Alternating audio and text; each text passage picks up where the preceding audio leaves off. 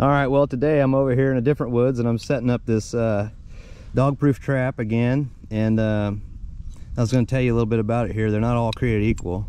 This one here, it's all about the, the catch lever. So let me uh, cock it up here, whatever you call it. And I'll show you. So now on this trap, it has this little notch right here on the end. And um, it makes it really simple where it slides off. I'll show you. So they can actually push down on the lever or pull up on the lever on this one. And the other one I have, they have to pull up on it. I don't have it with me to show you, but the catch is different on it. So it doesn't slide off on either side. It only slides off on one way. So, all right. Some people leave these just laying on the ground. I haven't tried that yet. I think that'll work. All right, so today we're trying some grape jelly and we're gonna try some mixed fruit. I haven't tried any mixed fruit yet. So I figure they might smell the juice, you know, and come running. so I'm just gonna pour some juice around it. And then probably just put most of the fruit on the ground. And I'll just put like one or two pieces in there. And we'll put some dog food, just do like three things this time instead of just two. There. So yeah, I really like these traps here. I'll do a video on all the different traps that I have and the differences in them. That way you'll know. But yeah, it's kind of nice because as soon as they put their hand down in there and just barely bump it, that's it. It's all over.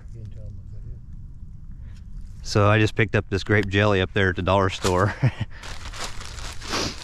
it was like three bucks. I figured it was a pretty good investment. So that should be good enough. I mean, I guess we could leave a little bit of dog food in the front.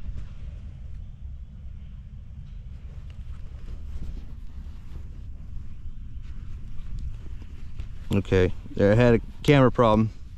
There, just put some dog food out here in front of it too real quick and then we'll get out of here. So they'll have quite a bit to eat and you know, they're so big, there ain't no way they're gonna eat all that and get full before they go messing with that trap. So now we come back tomorrow and we got the camera set out over here, right here. So I guarantee you by later today, just like last time, we got it pointed down nice and perfect. All right, we should be good to go. So we'll find out. All right, well, the grape jelly and the uh, mixed fruit worked out really, really good. As a matter of fact, it worked out so good. This is a double foot catch.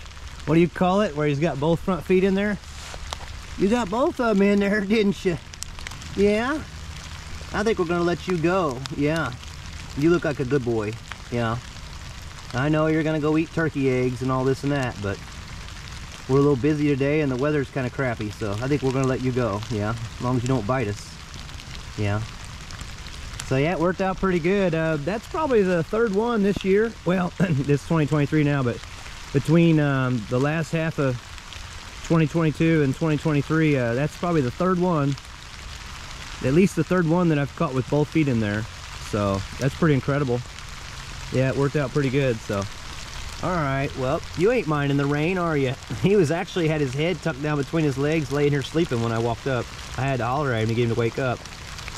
So, all right. Yeah, we're gonna be nice today and let you go. I know a lot of people will say not to, but yeah, that's how it's gonna be, isn't it? So let's try it. You gonna bite me?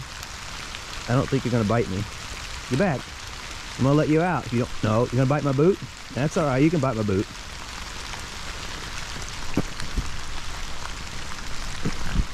Trying to bite my leg. Trying to bite my leg. You ain't gonna hurt me. I ain't worried about that. I just want to get you out without hurting you. Come on, let me get you out. No, don't bite. Hey, don't bite. Look. Look here. Yeah. Come on. Yeah, you ain't gonna hurt my boot. You ain't gonna bite me through my... Yeah, there you go. Shorten that up. That's what we wanted. Shorten that up. And shorten it up where I can get my foot on it. Get back. Trying to help you out here. There we go. All right, see you later. he don't seem to be hurt at all. He's running fine. He lives in one of these big trees right over here. All right, well, I'm out of here. I didn't bring the stuff to reset it, so I'm gonna come back tomorrow and reset it, and we'll, we'll see what happens. I guarantee you we're gonna catch another one. So, peace out.